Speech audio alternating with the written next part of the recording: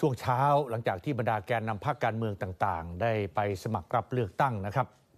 ก็ได้มาร่วมรายการพิเศษเลือกตั้ง 62 ทิศทางประเทศไทยที่ช่อง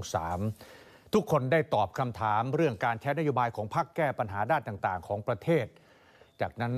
ก็ได้พูดถึงแนวทางหลายเรื่องนะครับ เช่นการออกจากความขัดแย้ง สร้างความปรองดอง การแก้ปัญหาทุจริตคอร์รัปชันแนวทางการร่วมรัฐบาลหลังการเลือกตั้ง รวมทั้ง ความห่วงใยข้อกังวลกับการเลือกตั้งที่กำลังจะเกิดขึ้น ต่อไปนี้คือบางช่วงบางตอนของรายการในวันนี้ครับ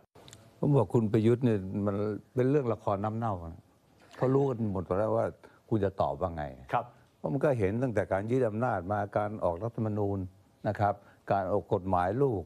ออกคำสั่งคอสชอะไรต่างๆนะ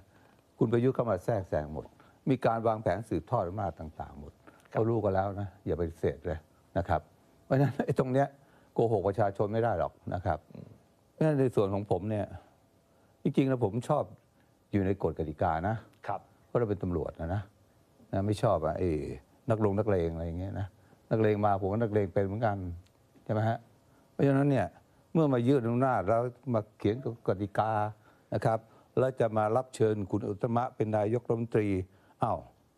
คุณยังเป็นหัวหน้าคอสชอยู่ มีอำนาจมาตรา44อยู่ ตกลงคุณเป็นอะไรเนี่ยนะเป็นผู้เล่นหรือเป็นกรรมการนะหรือเป็นคนนอกนะครับ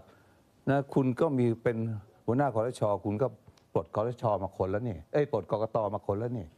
เดี๋ยวกกตชุดนี้ไม่ตามใจคุณคุณก็ปลดอีกอะไรเงี้ยนะแล้วมันเป็นธรรมถูกต้องไหมการเลือกตั้งมันจะเป็นไปด้วยความบริสุทธิ์ยุติธรรม เป็นเสรีอย่างท่านวิสิทธิ์ว่าไหมผมว่าไม่หรอกแม้กติกามาลูกน้องผมไปจับเบอร์วันเนี้ยนะ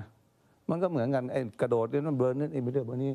มันสร้างมาเพื่อให้มันมึนงงไปหมดของก็ดีแล้วเนี่ยนะก็ทำให้มันไม่ดีถูกไหม ฮะเออตลกเก่งนะอย่างนี้เก่งครับ นะครับเขาเลือกเสร็จสามโมงเย็นก็โอเค เลือกตั้งไม่รู้กี่ครั้งจบไฟสว่างนะตรวจนับคะแนนก็ยังสว่างดีสามโมงจากสี่โมงเป็นห้าโมงจบ ก็ดีแล้วนี่ก็ไปเลื่อนขยายเป็นห้าโมงเพราะฉะนั้นถ้าคุณประยุทธ์เข้ามา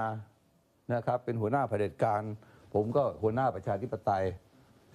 ว่าไงอะครับใช่ไหมฮะฮะเพราะฉะนั้นผมก็จะอยู่ข้างประชาธิปไตยอะครับภาคไหนก็ได้เนี่ยนะครับประชาธิปไตยผมอยู่อย่างเงี้ย